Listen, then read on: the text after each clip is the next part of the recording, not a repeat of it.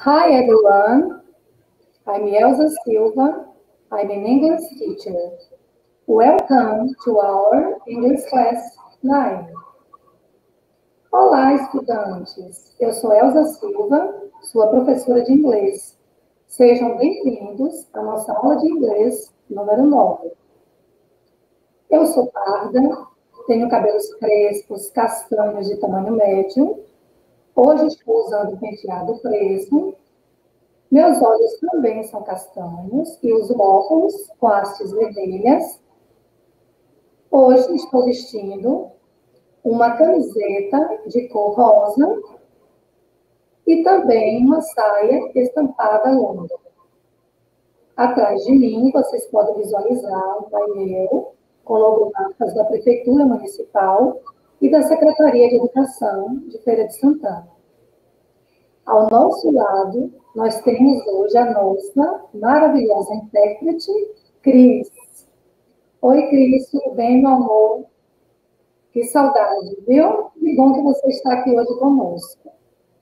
E além de Cris, nós também temos uma convidada especial, que é a Andréa. Hello, Andrea. How are you? Hello, Elsa. Hello, everyone. I'm fine. Actually, I'm very happy. Olá, Elsa, e olá, alunos e alunas. Eu estou muito feliz de estar aqui com vocês hoje e gostaria de também me apresentar. I'm Andrea Castiglione. I'm an English teacher and welcome to our English class number 9. Eu também sou professora de inglês com a teacher Elsa e sejam bem-vindos à nossa aula 9. Eu sou parda, do cabelo castanho, tamanho médio, cacheado e também estou utilizando uma blusa rosa. E atrás de mim também temos as mesmas logomarcas da Prefeitura Municipal de, Educa... de Feira de Santana e da Secretaria de Educação de Feira de Santana. O tema de hoje é Fashion Culture, Clothes and Accessories. O tema de hoje é cultura fashion, roupas e acessórios. Let's go, Elsa! Let's go! So, what are we going to learn today? O que, é que nós vamos estar aprendendo hoje? Hoje, nós vamos aprender sobre como construir o repertório cultural através do contato com manifestações artísticas culturais, as manifestações também de artes visuais vinculadas à língua inglesa, valorizando a diversidade, com a especificidade, lógico, né, no tema de roupas e de acessórios. E é claro que antes de começarmos a nossa aula, é necessário que a gente se organize para que o nosso ambiente de aprendizagem fique saudável e produtivo. Encontre um local em sua casa tranquilo para que você possa se concentrar nas nossas aulas. Não se esqueça de separar todos os materiais que você acha importantes para fazer anotações durante a aula. As atividades, sejam elas interativas, ou atividade de casa, não deixe de fazê-las. Até mesmo porque essas atividades vão te ajudar a garantir a aprendizagem do tema de hoje.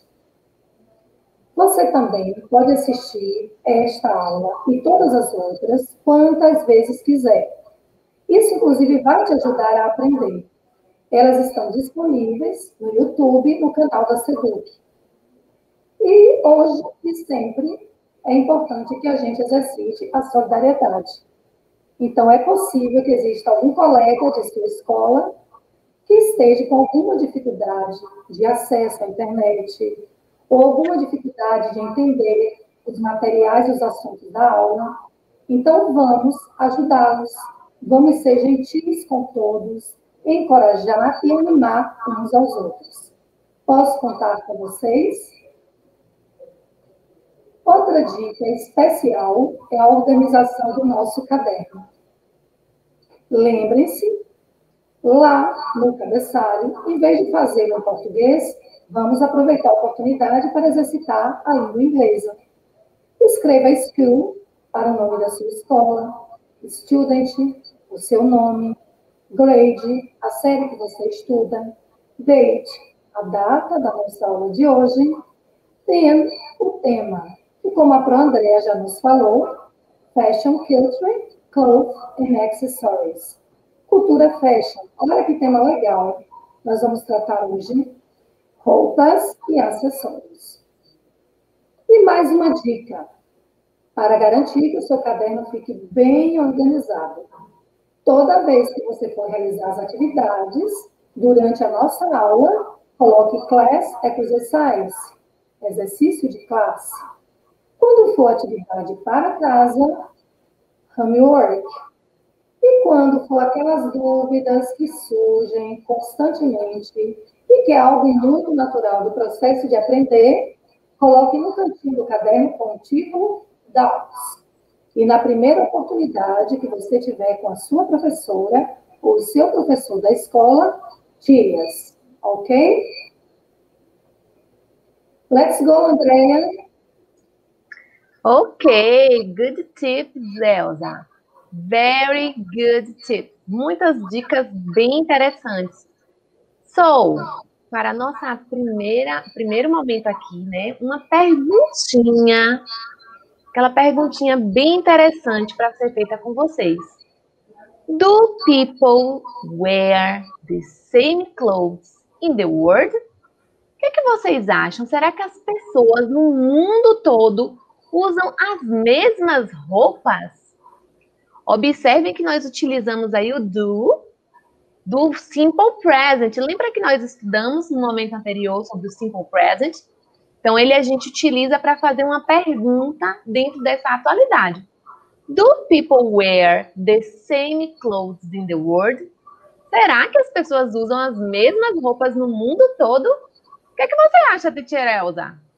Nós vamos responder essa pergunta juntos no decorrer da aula. Mas as próprias imagens que nós estamos espelhando no slide já nos dá a dica de que nós somos diferentes. Somos diferentes também nas nossas escolhas de como se vestir, de quais acessórios utilizar. Mas vamos checar isso durante esta aula de hoje, ok? Ok, let's go. So, we will talk about fashion culture. Vamos falar sobre cultura fashion. Vocês podem perceber aí que tem duas imagens que não são tão próximas da nossa realidade. De que país vocês acham que são essas roupas? Observem bem a primeira imagem. Nós temos aí três rapazes utilizando uma roupa um tanto quanto diferente. Observem que eles usam saia. Lembram como é que é saia em inglês? Skirt. Skirt. Mas essa saia é uma saia específica, não é qualquer saia, não é qualquer skirt. Essa saia se chama kilts. Let's repeat? Vamos repetir? Kilts. Kilts é a saia específica que os homens utilizam na Escócia, né? É a saia escocesa. E eles utilizam principalmente nos momentos da tradição cultural, em que eles têm os festejos e os eventos relacionados à cultura deles. Então é muito interessante a gente conhecer. Então, olha só, como é que a gente fala saia em inglês? Skirt. Mas saia escocesa é kilt. Let's repeat. Kilt. E na outra imagem, nós podemos ver uma moça ela tá com uma roupa diferente também, né? Uma roupa que não é comum pra gente. E aí, de que país vocês acham que ela é? Observem as cores, né? Nós podemos perceber as cores white, black, green and red. White é branco, black é preto, green é verde e red é vermelho. Essas cores elas são muito chamativas na roupa da, dessa moça e elas estão relacionadas ao país que ela tá, de qual ela faz parte. She is Germany. Ela é germânica, né? Ela é da Alemanha. So, essa roupa específica dela se chama dirndl. Dirndl. Tem um som um pouco estranho, mas é esse, esse traje típico, né, da cultura alemã. E aí, Titirelza, você já viu alguém vestindo uma roupa como essa? Ou como não. essas roupas aí? Não, exatamente igual não. E é importante também, students and teacher Andrea, estudantes e professora Andrea, é importante também que a gente pense sobre por que será que nós também fazemos opções diferentes no que diz respeito à maneira de nos vestirmos e os acessórios que a gente utiliza, né? O que é está por detrás disso? A gente tem que destacar a primeira questão do clima, né? Países como o nosso, que tem clima tropical, é claro que nós vamos escolher roupas mais frescas, mais leves. Tem também a questão da profissão, que influencia na escolha do vestuário, as crenças religiosas. Inclusive, a gente pode observar em países que têm determinadas crenças religiosas que as mulheres têm que vestir vestidos longos, às vezes tem que cobrir os, o rosto, né, a face, com chales, enfim. E tem os valores de cada sociedade, de cada cultura, que também é diferente, e as tradições. Não é verdade? É verdade. Isso é muito interessante. E é isso que é diversidade. É isso que a gente percebe que cada país tem as suas escolhas e tem as suas tradições. E em relação né, aos tamanhos das roupas que usamos? Também, queridos estudantes, os tamanhos não são iguais. Eu trago aqui para vocês uma tabela que, de um modo geral, essas terminologias são utilizadas nos Estados Unidos na Europa e no Reino Unido. E é importante que a gente perceba justamente que aqui no Brasil, assim falando de uma maneira geral, nós compramos roupas através do tamanho P, M ou G. É claro que existe também as variantes, né? O menor do que o P, que é o PP, e o maior, que é o GG. E como é, então, né, que essas terminologias acontecem fora do Brasil? O PP Teacher Andrea, que é o bem pequeno aqui no Brasil, como é nos Estados Unidos, na Europa e no Reino Unido? Ele, ele se chama Extra Small. A gente vai usar a sigla né, do XS. Às vezes a gente vê na etiquetinha da roupa o XS. Isso quer dizer extra small, que é super pequeno, né? Que é extra pequeno, ou que é bem pequeno. E o pequeno, tamanho P? O pequeno em inglês é small. Então a gente vai ver o S. Quando a gente vê na etiquetinha a letra S, quer dizer que aquela roupa é do tamanho pequeno. E o médio, M? O médio tem uma palavra bem parecida com a nossa língua portuguesa, Miriam. E aí é o M, é o mesmo M. Então fica mais fácil para a gente identificar. E o G, grande? Em inglês, grande para é, roupa é large. Large. Então a letra é L. Temos também o GG extra grande. Isso. E para o GG, é, nesses países né, do exterior, geralmente eles trazem mais de uma possibilidade. Né? Então a gente pode ver o extra large, que é o XG, e tem um maior ainda, que é o plus size, que é o XXG, né? Quando é um tamanho muito grande, né? Para além do extra grande. E é importante também nós destacarmos que essa terminologia plus size, esse termo também é utilizado aqui no Brasil. Né? Nós não temos ainda uma terminologia relacionada ao XXG, né? que é o plus size. Muitas pessoas hoje vão às lojas e procuram por, por roupas utilizando essa terminologia do plus size, porque nós não temos um correspondente na nossa língua. E outra coisa também que é importante destacar é que esse plus size é muito utilizado fora do Brasil, principalmente nesses países que nós destacamos, porque está muito relacionado ao tamanho das pessoas. E a população dos Estados Unidos tem essa característica. As pessoas geralmente são maiores do que os brasileiros, ok? Ok. Muito bem lembrado, Teacher Elza. E as medidas dos calçados? Hum. Será também que são iguais, como aqui no Brasil? Calçados femininos e masculinos, camisas femininas, blusas né, femininas e camisas masculinas. Existem diferenças? Sim.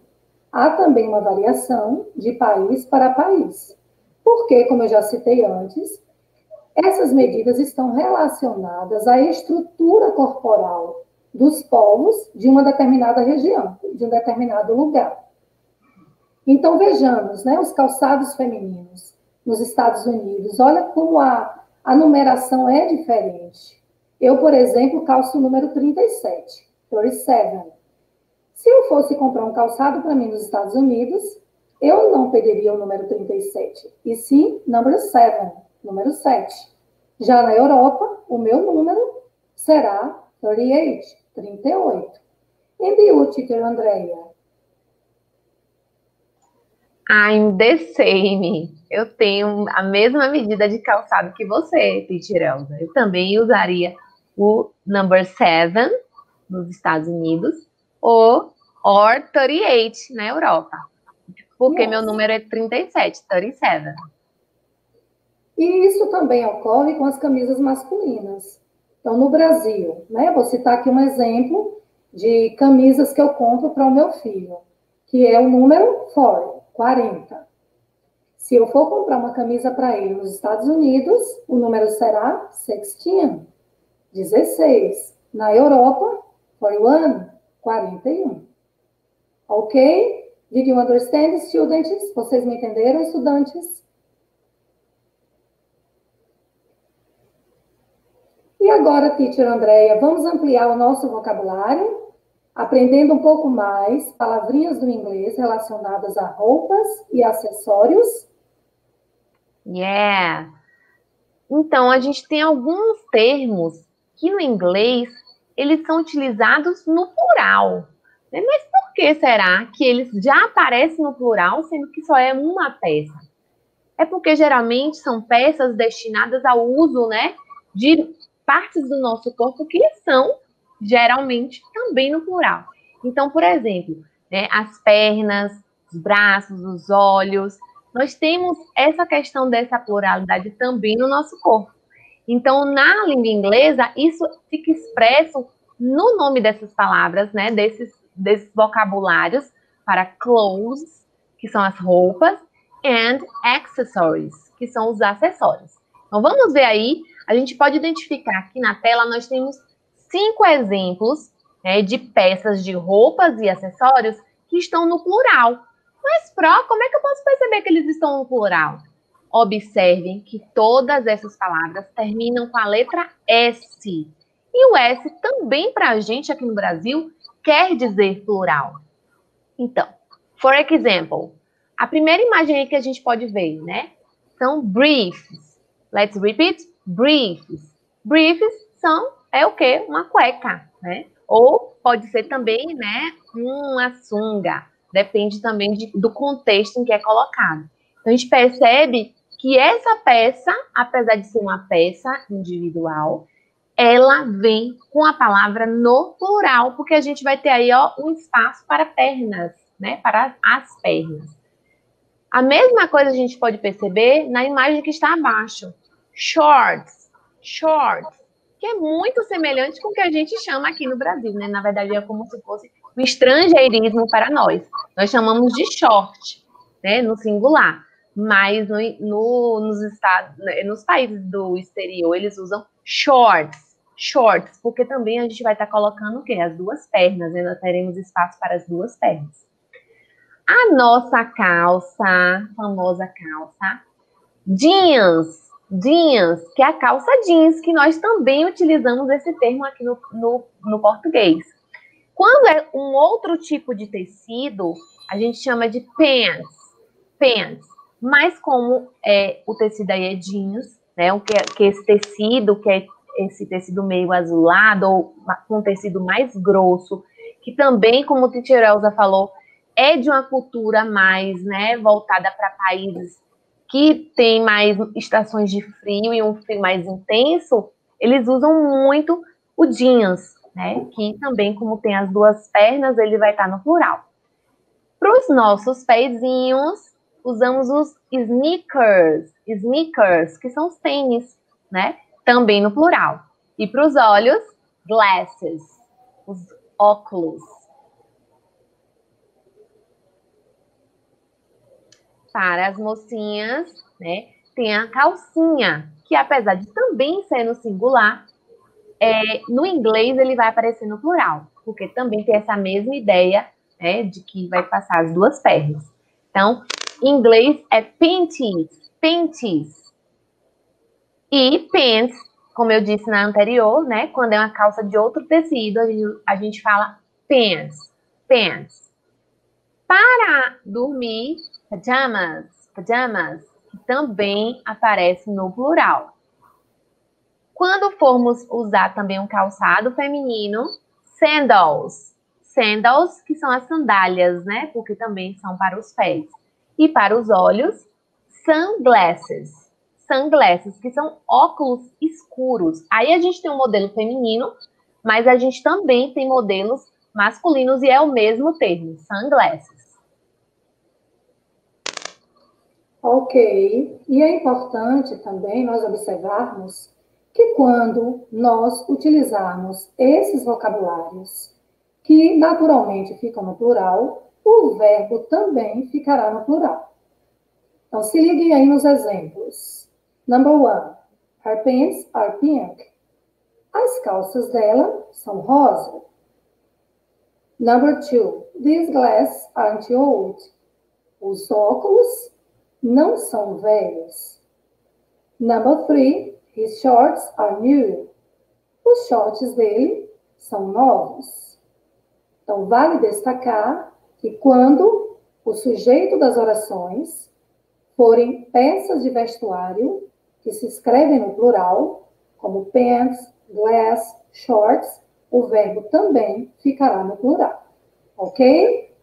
Uma coisa também bem interessante da gente perceber, Teacher nesse slide, é que, apesar do sujeito, né, que são esses objetos, estarem no plural, e o verbo também está no plural, nós podemos observar que os adjetivos, eles não vão para o plural. No inglês, os adjetivos, eles continuam no formato singular, porque eles, eles não modificam na frase. É diferente da língua portuguesa. Aqui a gente modifica tudo. Né? Então, é um, uma dicasinha aí. Quando vocês forem utilizar observem que os adjetivos, ou seja, aquilo que vai qualificar os objetos, as pessoas, as coisas em geral, eles são invariáveis, eles não vão modificar, eles vão continuar no formato singular, sem S. Ok. E mais uma dica. Existe uma pequena diferença, se nós compararmos a nossa língua, né, com o inglês, no que diz respeito ao verbo usar. Quantas vezes nós dizemos assim: ah, eu vou usar uma calça jeans hoje? Usar. Mas nos Estados Unidos e nos países que falam inglês, existe uma pequena diferença. Nós temos o verbo wear e use. Quando eu vou me referir às peças de vestuário e acessórios que vou utilizar, eu não devo utilizar o verbo use. Qual é o verbo adequado? Where, como vocês podem ver aí espelhado no slide. Então, o principal verbo utilizado para construir frases a respeito de peças e acessórios que nós utilizamos é o verbo wear, que significa vestir-se ou usar. Mas nós também poderemos utilizar outras opções, como to get dressed, to put on, to try on. To get dressed tem o mesmo sentido de to wear, que é vestir-se. To put on pode ser utilizado no sentido de vestir e calçar. To try on, experimentar. For examples, Martha put on her honey shoes. Marta calçou seu tênis de corrida. She has wear a blue dress. ela está vestindo ou ela está usando um vestido azul. I put on my socks at night. Eu vou calçar ou vou vestir minhas meias à noite. Ok? Se ligaram aí na dica? Não utilizar o verbo to use para se referir a peças de vestuário e acessórios na língua inglesa. Ok? E agora, vamos parar um pouquinho para se divertir. Let's have fun. Vamos nos divertir? Lembra daquelas atividades interativas que nós estamos sempre passando para vocês durante a aula? Então, nós temos aqui uma crossword about clothes and accessories. Então, nós temos uma palavra cruzada sobre roupas e acessórios para nós explorarmos alguns dos vocabulários que nós acabamos de estudar. Just a moment, please. Só um minutinho, por favor. Então, compartilho aqui com vocês a tela do aplicativo learnapps.org. E a partir daqui, vocês já devem estar tarimbados nesse assunto, já sabem como viajar por esses aplicativos e estudar inglês, além de se divertir. Mas vou fazer apenas um exemplo com vocês, para lembrá-los. Bom, estamos espelhando para vocês agora a tela do aplicativo learnapps.org. Então, a partir desse aplicativo, nós vamos praticar um pouco mais a respeito do vocabulário relacionado a clothes and accessories, roupas e acessórios. Ok? Let's go! Então, você deve clicar aqui na palavra que você quer preencher. Observem bem. O que é que o aplicativo vai te mostrar? Uma imagem que é uma dica. Uma dica a respeito da palavra que você precisa adivinhar e preencheu a crossword. Além da imagem, nós temos também uma frase. A type of shoe that makes you tall.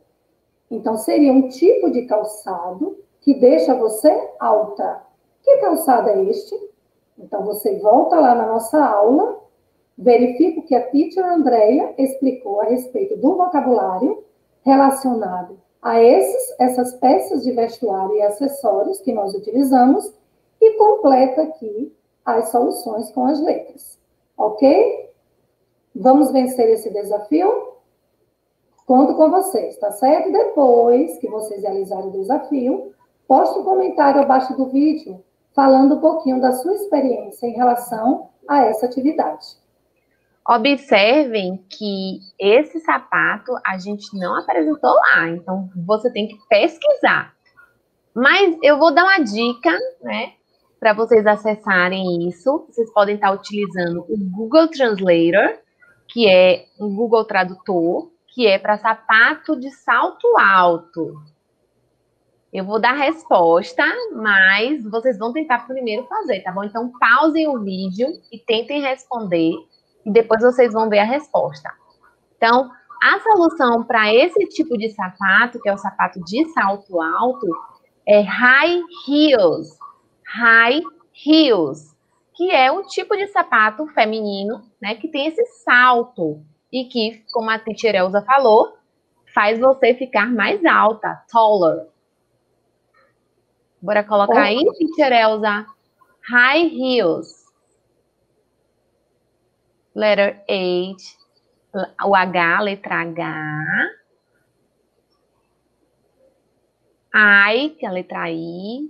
G, letra G, H, again, letra H, heels, H, E, E, L, S, high heels. Ok? Ok, students? Ok, teacher Andrea. E a partir daí, eles continuam clicando aqui nessa, nesse círculo azul, né, que tem um ticket branco, e a crossword irá voltar para a tela inicial e novamente ele volta a clicar nos números de cada crossword e tentar preencher os espaços observando as dicas nas imagens que serão apresentadas. Ok, students? Let's go!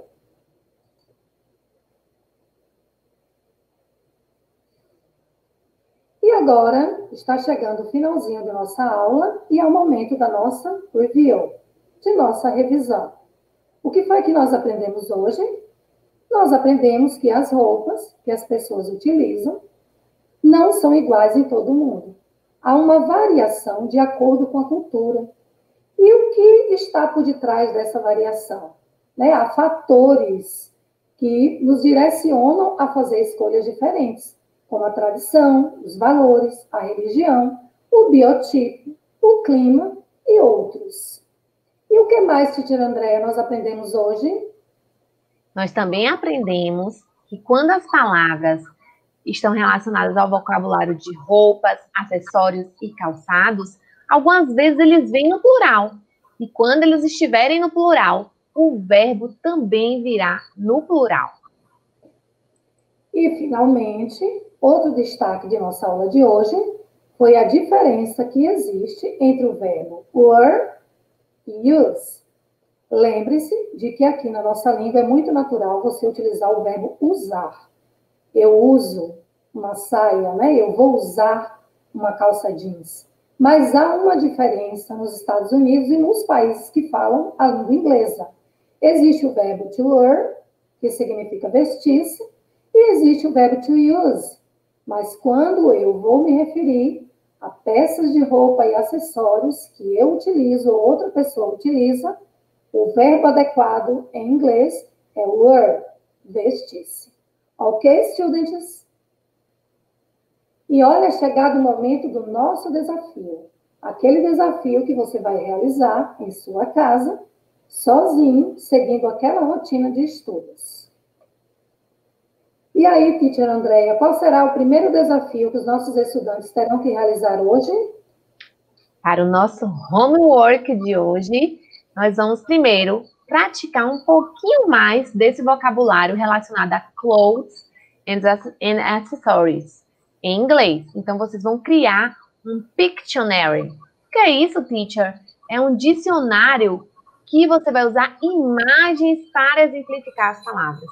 Então, vocês vão procurar, pesquisar na internet algumas palavras relacionadas a clothes and accessories que você mais usa no seu dia a dia. Você vai descobrir como é que se fala isso em inglês e você vai desenhar ou colar imagens que se relacionem a esse vocabulário. E também vocês irão praticar essa expressão em inglês, essa oração, falando justamente sobre as peças de vestuário que você está utilizando no momento de realizar a atividade. Olha a expressão I'm wearing. Eu estou usando. For example, today I'm wearing a pink blouse. Hoje eu estou usando uma blusa rosa. And you, teacher Andrea? Today I'm wearing um, black pants. Ok. Eu estou então, usando calças pretas. Calças pretas. Black pants. Então, hoje vocês irão também praticar essa estrutura em inglês.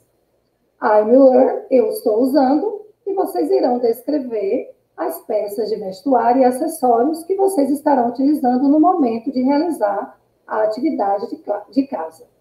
Ok, students? Chegamos então ao finalzinho de nossa aula. Deixamos aqui o nosso agradecimento a Cris, a teacher Andrea. See ya next class. Vejo vocês na próxima aula. Kiss, kiss a hug. NU, a hug. E um abraço para vocês. Ok? Thank you, Thank you, Elsa. Thank you, everyone. Bye, bye. I hope to see you soon. Tchau, tchau. Espero ver vocês em breve. Thank you, Teacher Elsa. Obrigada. Bye, bye. Bye, bye.